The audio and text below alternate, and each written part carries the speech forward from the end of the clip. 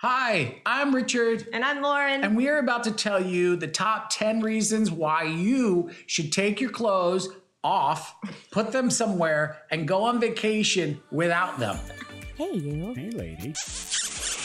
Ow, turn around.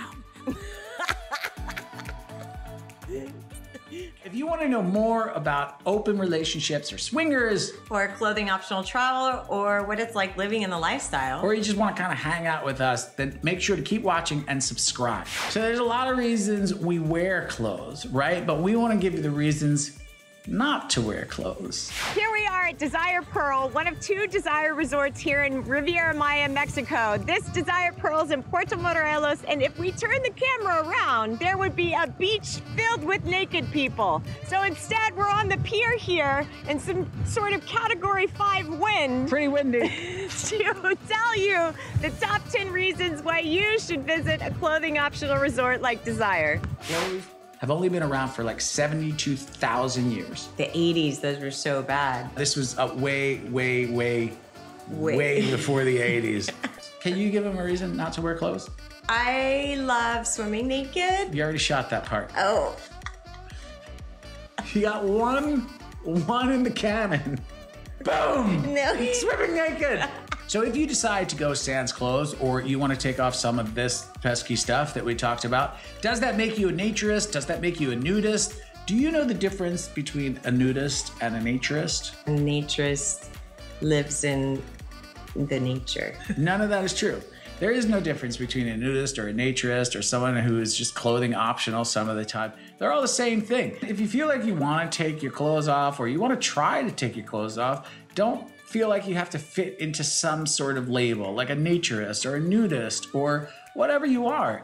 People like to take the clothes off. That's good enough. You don't need to put yourself in a category. You've already convinced me. I already want to take my clothes off and go to a clothing optional place. Slow down. We haven't even given you the reasons yet, so stay tuned. First, name some places or things that people can do to take their clothes off in public or in a outside sort of venue. I got you there's campgrounds, there's resorts, mm-hmm. there's family places, there's festivals, there's even that city. Yeah, there's a whole part of a city in France that's just dedicated to being naked. So if you want to go there, you can live there forever and be naked all the time if you want. You could even take a cruise over to the city where you could be nude the entire year. Nude cruises over to the nude city. I guess you could. Yeah. I think they have nude airlines. You can take a nude flight to a nude ship to the nude city. So if you just find an Uber that will allow you to be naked,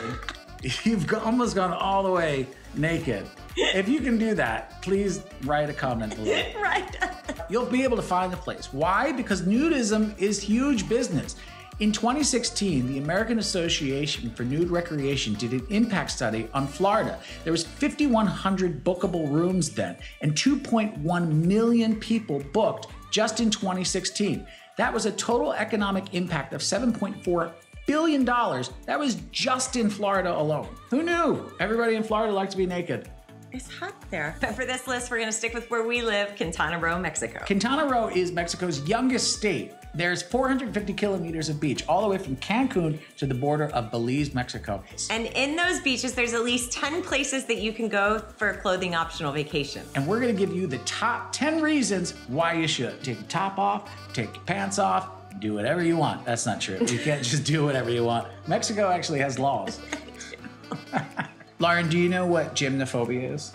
Um, like I don't want to commit to a gym membership. Can you remember the first time you were naked in public? At nude beach with you. With me? Yeah. Do you remember that first feeling of what it was like to be naked on a beach? That adrenaline rush, right? Is that what that is? I don't know. It feels like your breath is going away. Anxiety. That is our reason number one. Let's go to Lauren and Richard on the top.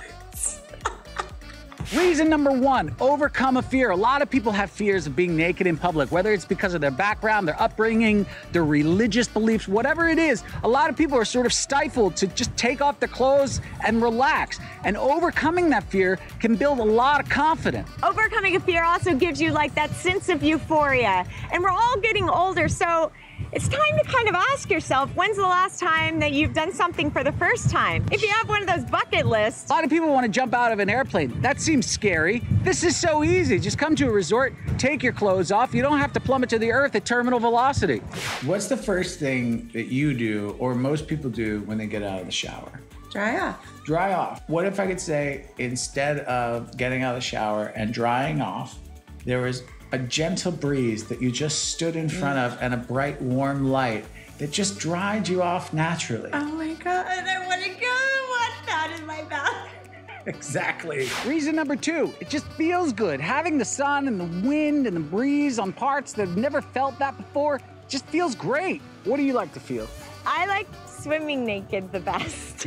And it also feels good on the inside. The sun helps our body by creating vitamin D, which helps the immune system. So it actually can make you feel better. It can actually heal you. Would it make you comfortable, more comfortable, or less comfortable if I went over your body and outlined all of your private parts with a marker?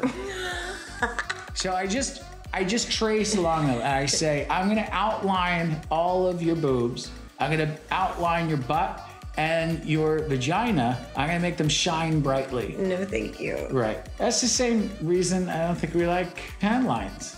That's a good point. I make good points. Number three reason you should leave your clothes behind on your next vacation no tan lines. Woo! All right, ladies, you know what I'm talking about. When you're trying to wear that strapless dress or even a backless dress, we don't like tan lines. Here's my next question for you, Lauren. What are some things that you see right away and you're like, that person is rich or that person is important? A car, Car, um, jewelry, yeah. shoes, Shoes is a big one. um, bags, rings, jewelry, but just clothing in general. Usually Right. the first giveaway is their appearance. what if you took all of that away? I don't know. what if you did? Number four, social statuses are erased. We noticed in our many years of going to clothing optional places that people tend to leave their material things behind that, that expensive watch, that expensive bag.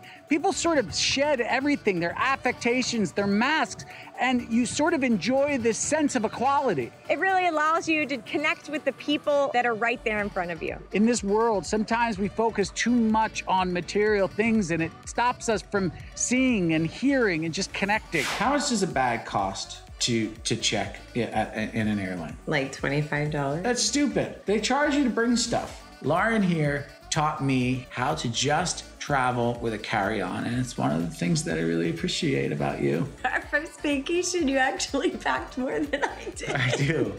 I was indecisive and I needed to have options. There's a great thing about going to a place where you're nude most of the time you're there. Number five, light packing. You wear fewer things, you pack fewer things. This one's pretty simple. And being naked matches everything. So you don't have to worry about what you're wearing every day.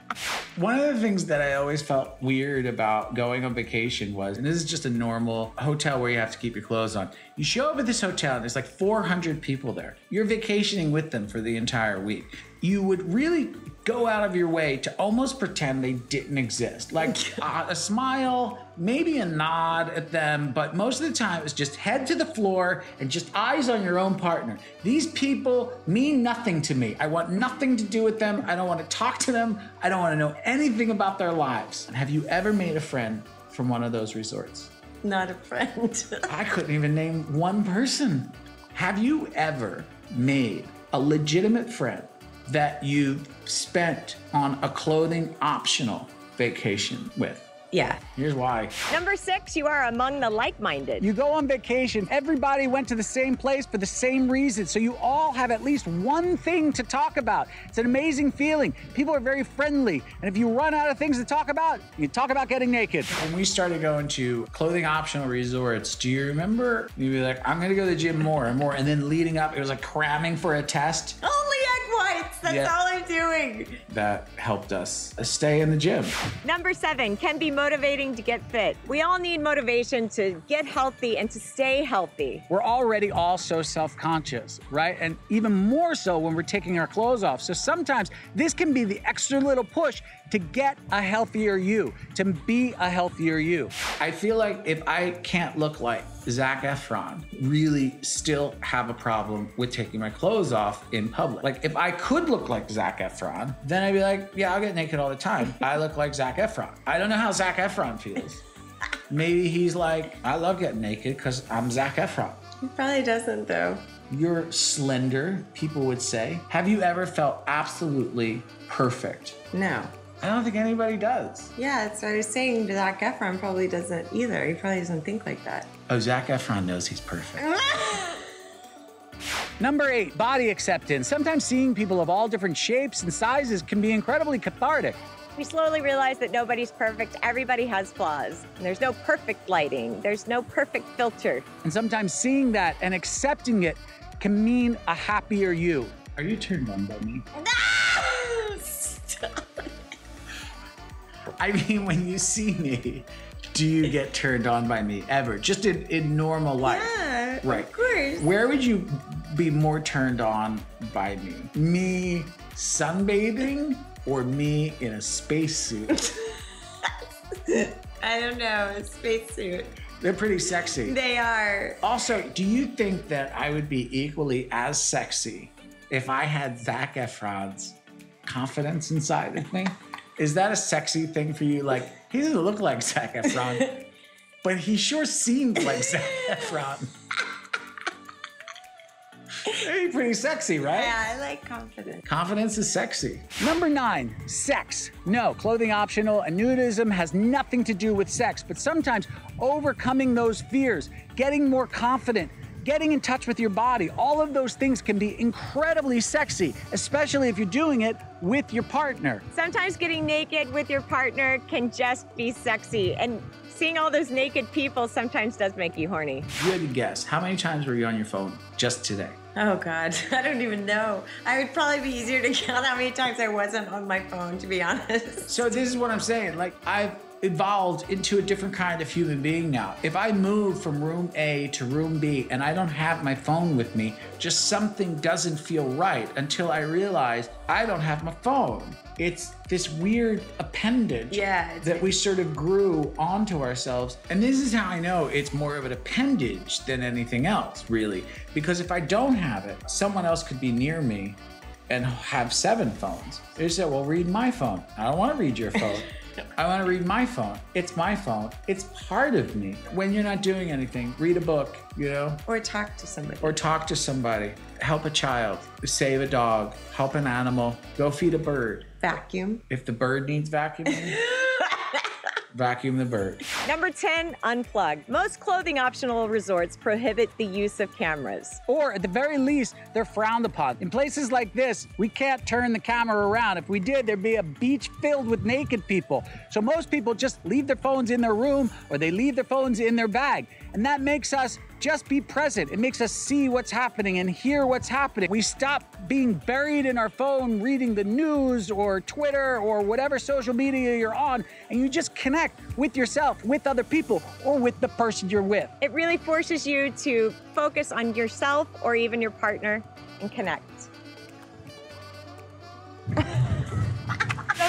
Have it, the top 10 reasons why you should leave your clothes behind on your next vacation. And if you want to know more about how to come visit us in Mexico or where we work or what we do, we put everything below and just follow the link. And to enjoy more about us and our life at Desire, make sure to listen to the Room 77 podcast where we talk about all of our sexy adventures. It's raw and candid and not meant for kids. Well, that about does it for us. We have things to see, people to do. Lauren has to keep sitting there saying nothing.